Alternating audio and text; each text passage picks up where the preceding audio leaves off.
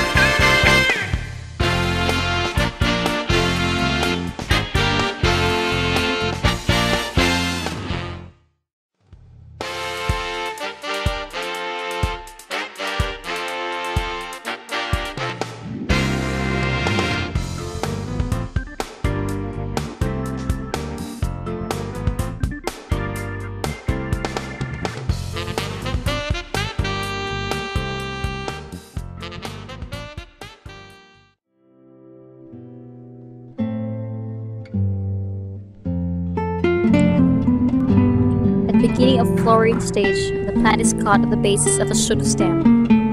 Growers harvest abaca fields every 3 to 8 months after initial growth period of 18 to 25 months for a total lifespan of up to 25 years as the rhizome continuously produces new suckers. The sheets contain a valuable fiber which is composed primarily of cellulose, lignin, and pectin. Fiber is extracted from the leaf sheet by hand stripping or using a stripping machine. Strips are then scraped to remove the pulp, sometimes washed and sun dried.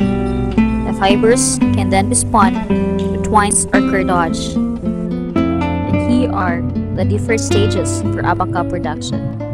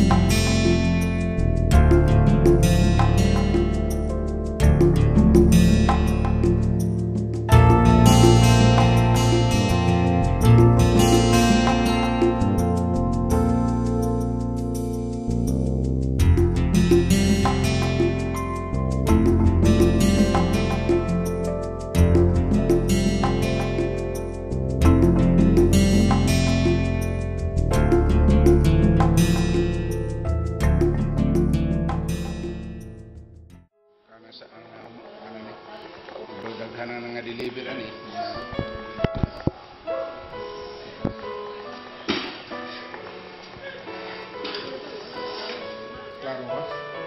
So asa ninyo ni siya ginakuan sir?